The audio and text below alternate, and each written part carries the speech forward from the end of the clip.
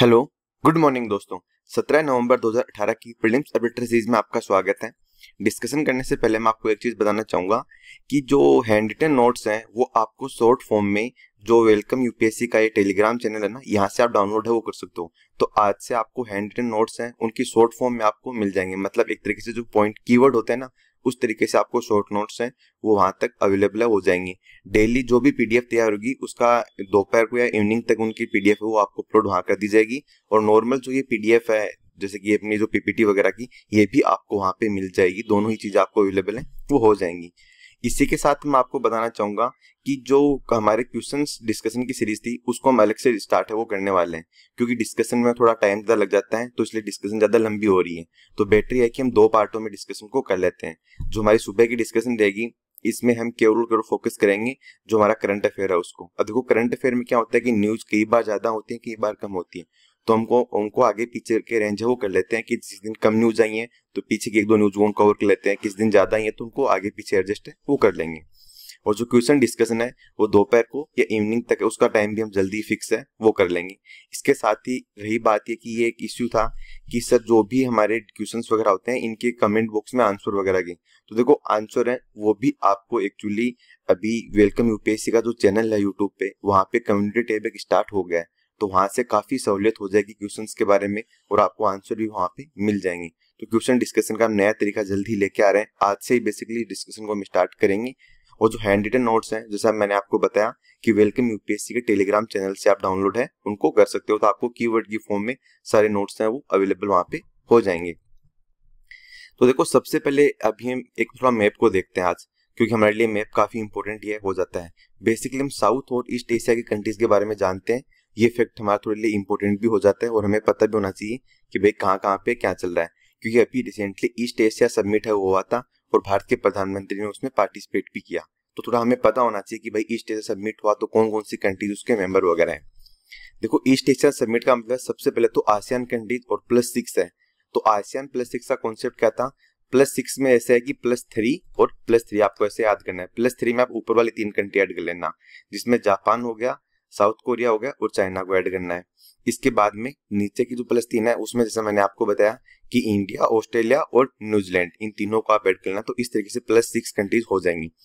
जो east Asian summit है, उसमें देखो स्टार्टिंग से ही बेसिकली काफ़ी कंट्रीज़ थी, उसकी पीपीटी हम डिस्कस करने वाले हैं। पहले हम यहाँ पे थोड़ी लोकेशन देख लेते हैं। ये तो देखो इंडिया की लोकेशन होगी यहाँ पे, ये चाइना की लोकेशन है, और जो मंगोलिया है यहाँ पे, इसकी लोकेशन भी हम थोड़ा देख ही लेते हैं चलो साथ ही कवर कर लेते हैं मैपिंग में। और ये यहाँ पे फिर बात करें, देखो यहाँ पे बांग्लादेश हो गया और बांग्लादेश के बाद में आप यहाँ पे ये देख रहे हो, ये है सारा म्यांमार। क्योंकि देखो, इस वाले एरिया की हमें लोकेशन पता होना चाहिए अच्छे से, तभी हमारे लिए एग्ज़ाम में काफ़ी सहूलियत वो हो जाएगी। ये हो गया म्यांमार और म्यांमार के फिर इधर यहाँ पे नीचे जो ये कंट्री है, ये हो गया पूरी थाईलैंड। तो आप ये थाईलैंड को देख सकते हो। थाईलैंड है वो लैंडलॉक कंट्री नहीं है, देखो यहाँ पे गल्फ ऑफ़ थाईलैंड भी है। इसके बाद में यहाँ पे आती है कम्बोडिया। ये देखो ये कम्बोडिया है कुछ इस तरीके से, ये कम्बोडिया। और कंबोडिया के बाद में इधर ही आता है वियतनाम। देखो, काफ़ी लंबा एरिया, पतला सा ऐसे ही देख सकते हो। ये हो गया वियतनाम। आपने देख लिया। अब देखो, यहाँ पे बीच में छोटी सी कंट्री है लाओस। ये आपको दिख रही होगी। यहाँ लाओस वाली कंट्री क्या है? ये बेसिकली लैंडलॉक्ड तो ये ध्यान रखना है कि जो ईस्ट एशियन कंट्रीज़ है, उसमें लाओस है, वो लैंडलॉक्ड है। उसको कहीं भी कोई भी बॉर्डर वगैरह टच नहीं करता है मतलब पानी वगैरह का। इसके बाद में हम यहाँ पे बात करें, ये आ जाता है यहाँ पे मलेशिया और ये यहाँ पे आ गया सिंगापुर। तो ये भी मैं बताना चाहिए और ये देखो इंडोनेशिया के आईलैंड है छोटे छोटे अब देखो यूपीएससी ने क्वेश्चन भी पूछा था रिसेंटली इस बार की एग्ज़ाम में 2017 प्रीलिम्स में, कि जो निकोबार है, उसके सबसे क्लोजेस्ट कौन सी है? तो देखो निकोबार के सबसे क्लोजेस्ट है, आपको लगता होगा तो श्रीलंका हो सकता देखो मालदीव तो काफ़ी दूर है तो ऑब्वियसली वो तो ऑप्शन गलत है, वो होना होना था। तो देखो यहाँ पे सुमात्रा है, वो काफ़ी नज़दीक है, देख सकते हो। ये तो हो गया देखो निकोबार हमारा। निकोबार आइलैंड यहाँ पे और ये देखो सुमात्रा है। तो ये काफ़ी नज़दीक यही है। जावा यहाँ पे थोड़ा दूर है और भी। बेसिकली हम नाम ऐसे लेते हैं कि जावा सुमात्रा। बट जावा हमसे दूर है और सुमात्रा हमारे काफ़ी क्लोज है, वो है। फिर ये बेसिकली यहाँ पे छोटी छोटी और भी कंट्रीज़ हैं। ये ब्रूनई है, यहाँ पे आप देख सकते हो। ये फिलीपींस है छोटे छोटे आइलैंड की फॉर्म में। और ये यहाँ पे साउथ चाइना सी है, जिसमें काफ़ी डिस्प्यूट है वो चलता रहता है। तो ये हमें थोड़ा यहाँ की लोकेशन वगैरह पता होना चाहिए। आप कमेंट बॉक्स में ये बताइए कि मलेशिया और सिंगापुर है ना, इनके बीच में एक स्टेट है। उसका नाम बताना आपको कि मलेशिया और सिंगापुर को कौन सी स्टेट है, वो अलग करती है। तो वो काफ़ी अहम हो जाते हैं और उसके बारे में आपको कमेंट बॉक्स में भी बताना है। फिर यहाँ पे पापा न्यूगोनिया कंट्री है छोटी सी इसको भी आप यहाँ पे देख सकते हो। ये देखो आइलैंड कंट्रीज़ हैं और फिर इधर फीजी वगैरह और कंट्रीज़ भी आती हैं। तो ये बेसिकली हमने साउथ ईस्ट एशिया का जो मैप है, एक बार थोड़ा वो डिस्कस कर लिया। बेसिकली हमें हमारे जो पड़ोसी कंट्रीज़ हैं आसियान है, इनके बारे में तो पक्का पता ही होना चाहिए। अब चलते हैं हमारी डिस्कशन की तरफ़। सबसे पहला जो आर्टिकल हम डिस्कस कर रहे हैं, वो है हिमालयन स्टेट रीजनल काउंसिल को लेकर कंटेक्स्ट ये है कि नीति आयोग ने अभी सस्टेनेबल डेवलपमेंट को सुनिश्चित करने के लिए कि भाई हिमालयन रीजन है, उसमें भी सस्टेनेबल डेवलपमेंट और ढंग से हो सके, इसके लिए basically Himalaya state regional council का निर्माण है, वो किया है। तो देखो, ये ध्यान रखना है कि एक तो नीति आयोग के द्वारा यह काम है, वो स्टार्ट किया गया है, क्योंकि ये फैक्ट थोड़ा इंपॉर्टेंट हमारे लिए हो जाता है और यूपीएससी इसके ऊपर क्वेश्चन वगैरह भी पूछ सकती है तो ये थोड़ा ध्यान में हमें रखना है। कि भाई किस किस के द्वारा किया गया है। अब देखो होगा क्या इसमें? देखो हिमालय बेसिकली इंडिया के बारह स्टेट में फैला हुआ है। कौन कौन से?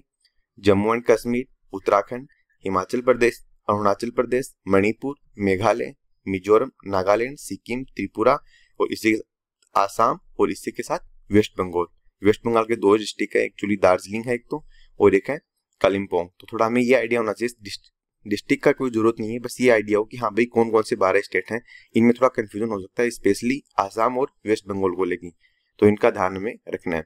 अब देखो, हिमालयन रीजन आपको पता है कि लगातार ग्लोबल वार्मिंग की वजह से तरह से उसको खतरा है ना, वो बढ़ता जा रहा है। इसीलिए वहाँ पे जो भी स्पेसीज पाई जा रही हैं, उनको सस्टेन ढंग से डेवलप करना भी ज़रूरी है और बायोडाइवर्सिटी को भी बचाना ज़रूरी है और इसीलिए बेसिकली उसका यूज़ है, वो सही ढंग से हो सके मतलब ऐसा नहीं हो कि वहाँ के जो भी रिसोर्सेज हम यूज़ कर रहे हैं, उसकी वजह से वहाँ पे एक तरीके जो भी हैबिटेड है, वो खत्म सा हो जाए। इसीलिए basically Himalayan state regional council का निर्माण है, वो किया गया है। नेक्स्ट जो आर्टिकल आया है, वो है आदि महोत्सव को लेके। तो आदि महोत्सव को लेके हम जान लेते हैं कि भाई क्या सीन है, वो है। देखो आदि महोत्सव है वो बेसिकली एक नेशनल ट्राइबल फेस्टिवल है। तो यह चीज़ हमें ध्यान रखनी है कि आदि महोत्सव क्या है? एक नेशनल ट्राइबल फेस्टिवल है। और ये ऑर्गेनाइज किया जाता है मिनिस्ट्री ऑफ़ ट्राइबल अफेयर और ट्राइफेड देखो ट्राइफेड है ना बहुत इंपॉर्टेंट बॉडी है, वो हो जाती है। तो इसके बारे में हम डिस्कस है, वो करेंगे नेक्स्ट स्लाइड में। इससे पहले हम देखते हैं आदि महोत्सव के और भी फैक्ट देखो, आदि महोत्सव में बेसिकली होगा क्या कि जो भी ट्राइबल के हैंडमेड या हैंडीक्राफ्ट जो प्रोडक्ट होते हैं बेसिकली हम जानते हैं कि ट्राइबल्स होते हैं, वो हैंडीक्राफ्ट प्रोडक्ट ज़्यादा बनाते हैं मतलब हैंडमेड जैसे कि टोकरी वगैरह बना ली, बाँस की टोपी वगैरह, कैप, इस तरह के प्रोडक्ट वो काफ़ी ज़्यादा बनाते हैं, चटाई वगैरह, ये सब। और उनकी जो भी ये कारीगरी है, उसकी देखो इंटरनेशनल मार्केट में डिमांड तो बहुत रहती है। बट होता क्या है कि ट्राइबल एरिया आपको पता है कि काफ़ी जंगलों में इस तरीके से रहते हैं। तो उनकी जो चीज़ें होती हैं या उनके द्वारा जो बनाए हुए प्रोडक्ट होते हैं, वो मार्केट तक पहुँच ही नहीं पाते क्योंकि लोगों को पता नहीं होता है, ना ही वो मैन लोगों से मैन स्ट्रीम में जुड़े हुए रहते हैं। इसीलिए बेसिकली जो ट्राइफेड मिनिस्ट्री है, वो ट्राइबल जो ट्राइफेड है जो कि ऑर्गेनाइजेशन है वो काम करती है और उसका काम ये होता है कि भाई ट्राइबल्स के जो प्रोडक्ट्स हैं, उनको बाहर लाके लोगों से अवेयर करवाया जाए और उनके प्रोडक्ट को बेचा जा सके। तो बेसिकली जो अभी आदि महोत्सव स्टार्ट हुआ है, उसकी थीम ये है कि a celebration of the spirit of tribal culture craft और कुजिन और इसी के साथ कॉमर्स तो ये चीज़ हम थीम थोड़ी ध्यान में रखनी है। अब थोड़ा हम ट्राइफेड के बारे में जानते हैं। ट्राइफेड का मतलब है tribal cooperative marketing development federation of India limited तो देखो, एक चीज़ तो समझ में आ गई। लिमिटेड है, इसका मतलब कोई सोसाइटी एक्ट या फिर कंपनी एक्ट के तहत रजिस्टर की हुई है। जी हाँ बिल्कुल। यह कोऑपरेटिव सोसाइटी एक्ट उन्नीस के तहत इसको बनाया गया था, उन्नीस में। तो देखो ईयर वगैरह तो इतना ज़रूरी नहीं है कब क्या बनाया गया। बट हमें एक तो अब पता चाहिए कि ट्राइफेड का काम क्या है। मिनिस्ट्री ऑफ़ ट्राइबल अफेयर के अंतर्गत बेसिकली आती है। हेडक्वार्टर इसका न्यू दिल्ली में इसका काम ही है कि ट्राइबल्स के जो भी प्रोडक्ट हैं, चाहे उन्होंने टोपी बनाई हो, चाहे उन्होंने कुछ भी बनाया हो, उन प्रोडक्ट को मार्केट तक एक तरीके से लाया जा सके। मतलब एक तरीके से लिंकेज का काम करती है, जो और लोग होते हैं वो, और इसी के आदिवासियों के प्रोडक्ट्स को आपस में इंटरकनेक्ट करने के लिए। तो इससे फ़ायदा क्या होता है? देखो ट्राइबल्स को क्या होता है? उनके जो प्रोडक्ट होते हैं ना, उनके उचित दाम मिल जाते हैं, क्योंकि वो सारी चीज़ें हैंडमेड बनाते हैं मैक्सिमम तो अगर हैंडमेड चीज़ें बना रहे हैं तो उनको काफ़ी टाइम भी लगता है और उनकी काफ़ी स्किल होती है। तो उसका प्रॉपर फ़ायदा उनको हो सके, उनकी इकोनॉमिक ग्रोथ भी हो सके, इसके लिए बेसिकली ट्राइफेड है। वो काम करता है और उनको स्किल भी प्रोवाइड वो करवाई जाती है ट्राइबल्स को, ताकि उनको और अच्छा नॉलेज है और अच्छा बेनिफिट उनको मिल सके। तो ये बेसिकली ट्राइफेड का काम हमने यहाँ पे डिस्कस किया। नेक्स्ट जो आर्टिकल आया हुआ है ईस्ट एशियन समिट को लेके। जैसा देखो, हमने पहले मैपिंग में डिस्कस किया था अभी कि रिसेंटली तेरहवा ईस्ट एशियन समिट है, वो स्टार्ट हुआ था। तो यह हमें ध्यान रखना है और अभी देखो, भारत के प्रधानमंत्री ने इसमें पार्टिसिपेट भी किया था तो थोड़ा हमें पता होना चाहिए। तो देखो, पहले तो थोड़ा हम ये देखते हैं कि पहला समिट कहाँ हुआ लास्ट कहाँ हुआ और आगे वाला कहाँ हुआ। क्योंकि देखो, जो आसियान समिट हुए ईस्ट एशियन समिट हुए सार्क हुए, इनके हमें एक दो के आगे पीछे पता होना चाहिए। जैसे एक तो रिसेंटली कहाँ हुआ और सबसे पहला कहाँ हुआ था और जो भी रिसेंटली आगे होने वाला है, वो भी कहाँ होगा। तो तेरहवा स्टेशन सबमिट कहाँ हुआ? सिंगापुर में हुआ। तो वो तो हमें, देखो पता है, इसके साथ ही जो बारहवा समिट था, वो फिलीपींस में आयोजित किया गया था लास्ट साल, तेरह से चौदह नवंबर के बीच में। और इसी के साथ जो बात की जाए, यहाँ पे चौदह आसान समिट है ईस्ट एशियन समिट है, वो बेसिकली अगले साल 2019 में थाईलैंड में प्रस्तावित है, वो किया गया है। तो बेसिकली ईस्ट एशियन समिट की बात करें तो देखो पहला एडिशन है, वो हम बात करें तो एक तरीके से मलेशिया के कोलमपुर में आयोजित है, वो किया गया था 2005 में। मतलब ईस्ट एशियन जो ग्रुप बनाया गया है, वो 2005 में बनाया गया था। देखो स्टार्टिंग में तो इसमें 16 कंट्रीज़ थी, आसियान प्लस सिक्स हमने बताया था कि आसियान की 10 कंट्रीज़ प्लस सिक्स में चाइना, साउथ कोरिया, जापान और यहाँ पे ऑस्ट्रेलिया, इंडिया और न्यूजीलैंड। तो ये प्लस सिक्स में होगी। बट इसमें बाद में दो कंट्री और शामिल हो गई। तो इसके अभी ये ध्यान रखना कि टोटल जो मेंबर है ईस्ट एशियन समिट के, वो अठारह मेंबर हैं। दो कंट्रीज़ कौन सी हैं? यूएसए और रशिया है। वो बेसिकली 2011 में इसमें शामिल है, वो हुए थे। तो हमें ध्यान रखना कि ईस्ट एशियन समिट में अठारह कंट्रीज़ हैं। ये एक इंपॉर्टेंट फैक्ट यहाँ पे बन जाता है। अब देखो ईस्ट एशियन समिट है, वो आपको पता है कि इंडिया के लिए बहुत इंपॉर्टेंट होता है। क्योंकि इंडिया के अगर नॉर्थ ईस्ट एरिया के लिए डेवलपमेंट करना है तो हमें ईस्टर्न कंट्रीज़ के बारे में या फिर साउथ ईस्ट एशिया के बारे में नॉलेज होना चाहिए। इसी के साथ उनके साथ हमारे लिंकेज अच्छा होना चाहिए, तभी हमारी इकोनॉमी को ज़्यादा बेनिफिट मिलेगा और देखो, उनके साथ हमारे कल्चर लेसन पहले से ही है तो हमें बहुत सा बेनिफिट वहाँ पे मिल सकता है। और इसीलिए बेसिकली फोकस किया इंडिया ने अपनी लुकिस्ट पॉलिसी लेके। इसके बाद में एक्टिव पॉलिसी लाई गई थी, ताकि ईस्टर्न जो कंट्रीज़ हैं आसियान की, उनकी तरफ़ भी फोकस है, वो किया जा सके। तो ये था कुछ बेसिक फैक्ट अब हम थोड़ा देख लेते हैं ईस्ट एशियन समिट के बारे में। देखिए, देखो, एक तरीके का रीजनल फॉर्म है। सोलह कंट्रीज़ का बेसिक जिसमें ईस्ट एशिया की कंट्रीज़ हैं साउथ ईस्ट एशिया की भी कंट्रीज़ हैं, और साउथ एशिया की भी कंट्रीज़ हैं। और इसी के साथ अहम बात क्या है कि दो कंट्रीज़ और भी हैं एशिया के अलावा। जिसमें एक तो रसिया हो गया और एक इसमें हो गया यूएसए तो ये फैक्ट भी थोड़ा हमें ध्यान में रखना है कि भाई 2011 में इसमें दो लोग और शामिल यहाँ पे हो गए हैं। काम क्या है इसका? देखो इसका काम वो जैसे और और ऑर्गेनाइजेशन थे, उसी की तरह काम है। मतलब काफ़ी डायमेंशन होती हैं। जैसे कि इन्वायरमेंट एंड एनर्जी के लिए काम करना education finance global health issues इसके साथ ही जहाँ पे बात करें पेंडामिक डिज़ीज़ होती है, उनके लिए नेचुरल डिजास्टर मैनेजमेंट और एशियन कनेक्टिविटी मतलब आपस में कनेक्टिविटी है, उसको स्ट्रॉन्ग किया जा सके। इसके लिए बेसिकली काम है वो की जाते हैं। तो ये हमने इसके बारे में कुछ बेसिक फैक्ट है, वो जाने। देखो, होता क्या है? सबसे पहले तो आसियान का समिट है और उस आसियान के समिट के बाद ही ईस्ट एशियन समिट है, वो आयोजित होता है। क्योंकि आसियान कंट्रीज़ से मिलकर तो बना हुआ है तो ये थोड़ा फैक्ट हमें यहाँ पे पता होना चाहिए। नेक्स्ट जो हमारा आर्टिकल है यहाँ पे, वो है चेरी ब्लॉसम फेस्टिवल को लेके। देखो तो रिसेंटली चेरी ब्लॉसम फेस्टिवल है, वो चौदह से सत्रह नवंबर के बीच में मेघालय की कैपिटल शिलोंग है, वहाँ पे आयोजित है, वो किया जा रहा है। तो ध्यान रखना कि इंटरनेशनल चेरी ब्लॉसम फेस्टिवल है, वो कहाँ पे आयोजित किया जा रहा है? मेघालय में। है क्या चेरी ब्लॉसम? देखो, चेरी ब्लॉसम होता क्या है कि चेरी के जो पेड़ होते हैं ना, उनमें आपको पता है कि जब भी फल लगेंगे तो उससे पहले इनके फूल वगैरह आते हैं। तो अभी ये जो इस टाइम का पीरियड है बेसिकली ये नवंबर का जो टाइम होता है, यहाँ पे क्या होता है कि चेरी के पेड़ों के फूल आना शुरू हो जाते हैं, हिमालयन चेरी के बेसिकली ये आपको ध्यान रखना है कि हिमालयन चेरी है, उसके फूल हैं, वो स्टार्ट हो जाते हैं और उसी को बेसिकली चेरी ब्लॉसम फेस्टिवल के तौर पे आयोजित है, मनाया है, वो जाता है। क्योंकि काफ़ी छोटे टाइम के लिए फूल हैं, वो आते हैं। तो इसीलिए काफ़ी पॉपुलर है और हमें पता होना चाहिए कि कहाँ पे है। तो बेसिकली जो हिमालयन चेरी ब्लॉसम है, वो उसकी बात यहाँ पे की जा रही है। अब हम बात करें जो हमारा नेक्स्ट आर्टिकल है वो है network for development of agriculture cooperative in Asia and the Pacific N के बारे में।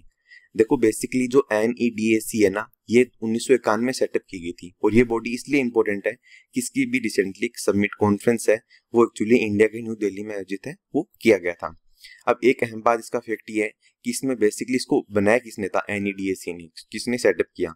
तो देखो तो आप तक यूनाइटेड नेशन के अंदर फ़ूड एंड एग्रीकल्चर ऑर्गेनाइजेशन है एफ़ उसने इसके साथ ही इंटरनेशनल कोऑपरेटिव अलायंस ने और इसी के साथ इंटरनेशनल लेवल ऑर्गेनाइजेशन तो ये तीनों ही बॉडी हमारे लिए इंपॉर्टेंट है कि भाई किस किसने इसको बनाया, किसके द्वारा सेटअप है, वो क्या गया? काम तो देखो इसका बहुत सिंपल है। इसका काम यही है कि जो रूरल एरिया के अंदर फ़ूड और जो लाइववुड सिक्योरिटी है ना, उसको सुनिश्चित किया जा सके। क्योंकि देखो एशिया और पैसिफिक वाला जो एरिया है ना, जिसे हम इंडो पैसिफिक बोलते हैं, इस वाले एरिया में क्या कि काफ़ी ज़्यादा दिक्कत का लोगों को सामना करना पड़ता है। भूखमरी काफ़ी ज़्यादा है तो उन सबसे निपटने के लिए माल न्यूट्रिशन से निपटने के लिए बेसिकली लोगों को संतुलित आहार मिल सके, उनको प्रॉपर उचित खाना मिल सके। इसके लिए बेसिकली ये सब मीडिया कॉन्फ्रेंस है, वो आयोजित रिसेंटली की गई है। तो इसलिए इसमें एफ़ ए है, वो भी अपना कॉन्ट्रीब्यूशन यहाँ पे निभाता है। और इसमें एग्रीकल्चर जो प्रोडक्ट होते हैं, उनको प्रमोट किया जाता है कोऑपरेटिव सोसाइटीज के तहत। इसके साथ ही रूरल डेवलपमेंट को सुनिश्चित किया जा सकता है, ताकि रूरल एरिया के अंदर भी खाने की जो है सिस्टम है, उसको सही ढंग से कंटिन्यू रखा जा सके। तो बेसिकली ये तो थी आज की हमारी डिस्कशन तो एक बार हम जल्दी से रिवाइज कर लेते हैं। सबसे पहले हमने हिमालयन स्टेट रीजनल काउंसिल के बारे में जाना। इसके साथ ही हमने यहाँ पे आदि महोत्सव के बारे में जाना कि जो कि ट्राइफेड और ट्राइबल फ़िल्म मिनिस्ट्री के द्वारा आयोजित किया जाता है, ट्राइबल्स के प्रोडक्ट को एक तरीके से मतलब प्रदर्शनी वगैरह लगा के बेचा जा सके। इसके साथ हमने ट्राइफेड के बारे में जाना और तेरहवा ईस्ट एशियन समिट जाना कि जो कि भी सिंगापुर में आयोजित हुआ था और जो चौदहवा ईस्ट एशियन समिट है वो थाईलैंड में होने वाला है अगले साल और लास्ट था बारवा वो हुआ था फिलीपींस में। पहला एडिशन था वो मलेशिया के कोलामपुर में आयोजित है, वो किया गया था। इसके साथ ही हमने ईस्ट एशियन समिट के बारे में जाके ईस्ट एशियन समिट में कौन कौन सी कंट्रीज़ आती हैं? ASEAN plus six plus two plus two में कौन सी है? रशिया प्लस यूएसए इसके साथ ही हमने यहाँ पे network for the development of agriculture cooperative in Asia and Pacific के बारे में जाना, जो कि एक ऑर्गेनाइजेशन है और basically F A O L O और इससे सॉरी आई एल ओ और इसके आई सी के द्वारा सेटअप है, वो किया गया था। काम इसका क्या है कि भूखमरी से निपटने के लिए बेसिकली डील है, वो करता है। इसके साथ ही हमने चेरी ब्लॉसम फेस्टिवल के बारे में जाना कि अभी हिमालयन चेरी ब्लॉसम फेस्टिवल है, वो चौदह से सत्रह नवंबर के बीच में मेघालय की कैपिटल शिलोंग में आयोजित है, वो किया गया है। तो हमें इसके बारे में थोड़ा पता होना चाहिए। तो फ़िलहाल की डिस्कशन में इतना ही है। तो thank you thank you very much for discussion